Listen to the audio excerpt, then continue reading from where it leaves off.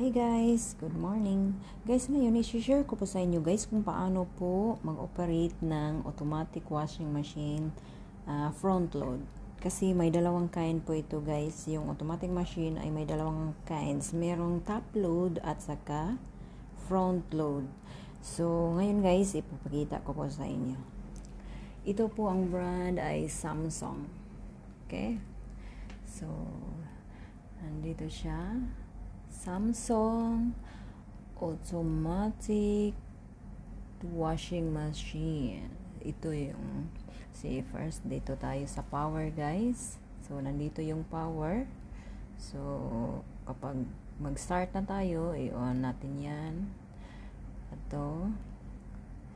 So merong temperature and spin wash option kung mag-start na tayo nandito.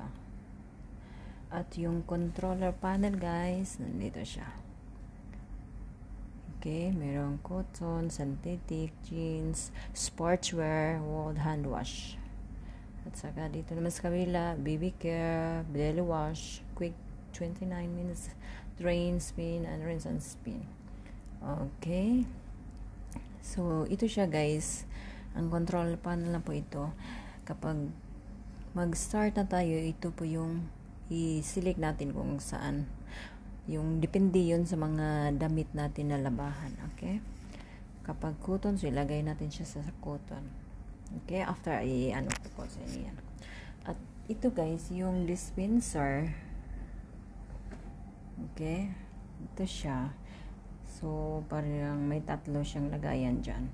Dito sa kaliwa dyan po ilagay yung sabon okay at saka yung dito sa kanan yung sa gitna guys, dyan po ilagay yung fabric softener, okay? Yung ginagamit namin ay downy, so dyan namin ilagay.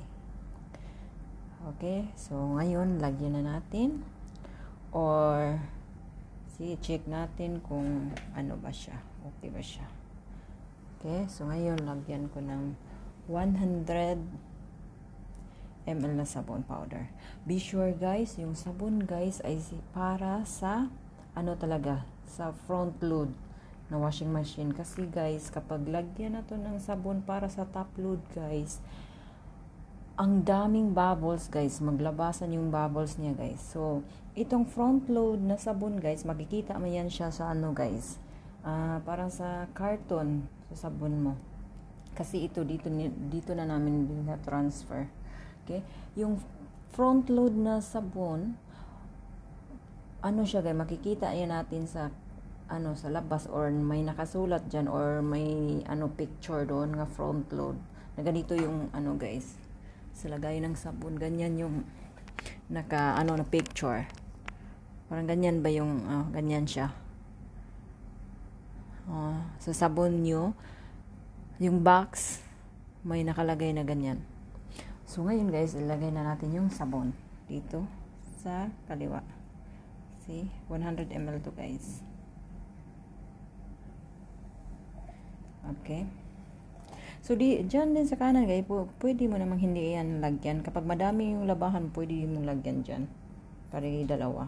Pero, pwede lang yan siya isa.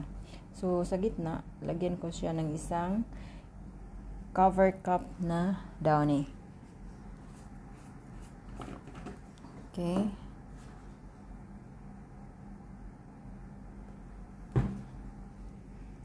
So, ito guys. Yan. So, dito ko siya ibuhos sa gitna. Okay? So, ganyan. So, i-close natin ng maayos. Okay? So, ganyan na siya. Okay, ngayon guys, i-open natin yung door. So, ganyan na siya yung So, check guys kung wala bang natitira dyan na ano yung dating yung mga damit. So must to empty guys. So ngayon ilalagay natin yung labahan natin. Yung mga duming so towel yung labahan ko guys. So yan so ganyan na siya dito ko ilagay ganyan siya So guys, nandyan na siya sa loob, yung labahan natin. Then, si, si nandito yung power, ipipress na natin siya. Okay, si, nandito, ang controller panel. Okay. So, isit natin siya. So, yung control plan, meron siyang cotton, synthetic, jeans, sportswear, wall, hand wash. Depende guys kung ano yung nilabahan nyo. Yung gusto yung labahan or yung mga damit nyo, kung ano siya. Cotton ba siya, jeans, ganito. Yung sa akin po guys, ano siya. Towel yung labahan ko, dito ko siya ilagay sa daily wash. Yan sa daily wash. Okay. Kapag sa baby care, so ilagay natin siya sa baby care. So mag-change yung time niya. Nasaan yung baby care? So, 2 hours siya. Kapag dito naman sa cotton, see, ano siya, 2 hours and 10 minutes. Ganyan. Kapag sa synthetic naman, mag-change yung time niya, guys. Sa synthetic, so, i-point natin siya sa 1 hour and 31 minutes. Sa jeans, kapag jeans yung labahan natin, so, ganyan. 1 hour and 19. So, depende po siya, guys. Okay? So, yung sa akin, ilagay ko dito sa daily wash. Sa daily wash.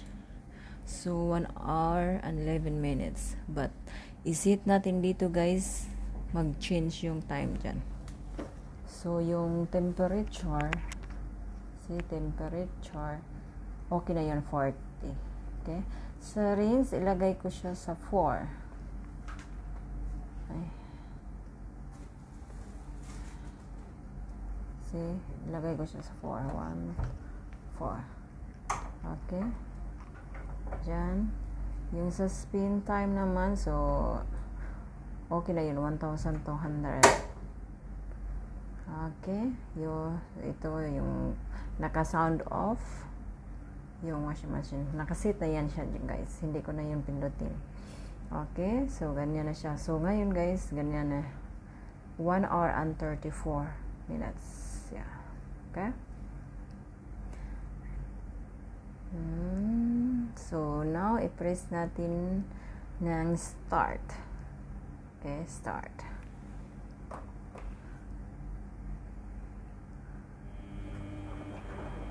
Okay.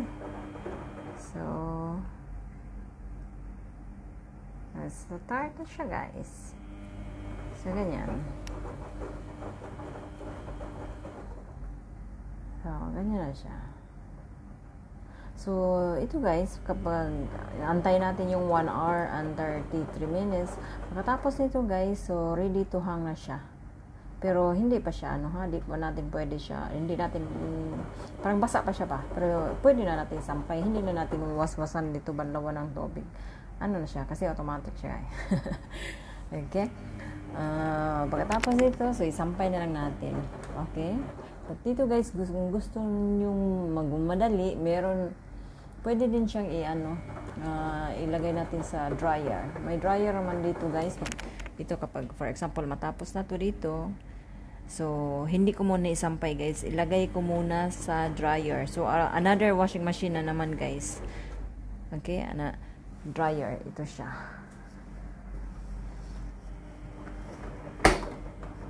So, iba na naman.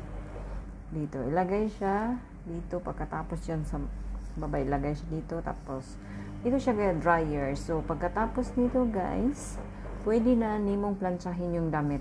Okay? Oo di ba? Nakahitik na. Pwede na siyang planchahin. Kung pwede lang sana. Pwede nang planchahin na lang. Okay so ganyan. Oh, so ganyan na guys. Ganyan na guys. Ka-high-tech ang panahon ngayon guys. Sana pwede lang planchahin. Paglabas dyan pinalansya na. Char Okay, so yan lang po guys. Thank you for watching. Bye!